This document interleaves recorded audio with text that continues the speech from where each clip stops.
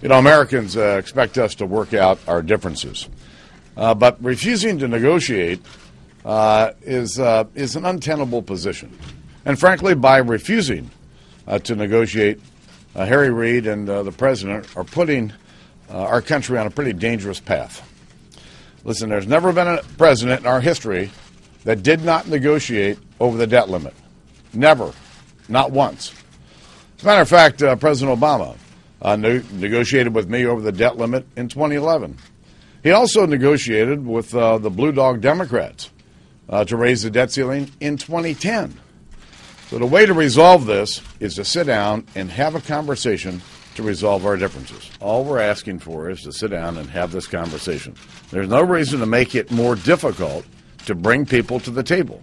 And so I, I, there's there's no there's no boundaries here. There's nothing on the table. There's nothing off the table. Uh, I'm trying to do everything I can to bring people together and to have a conversation. I want to have a conversation. I'm not drawing any lines in the sand. It's time for us to just sit down and resolve our differences.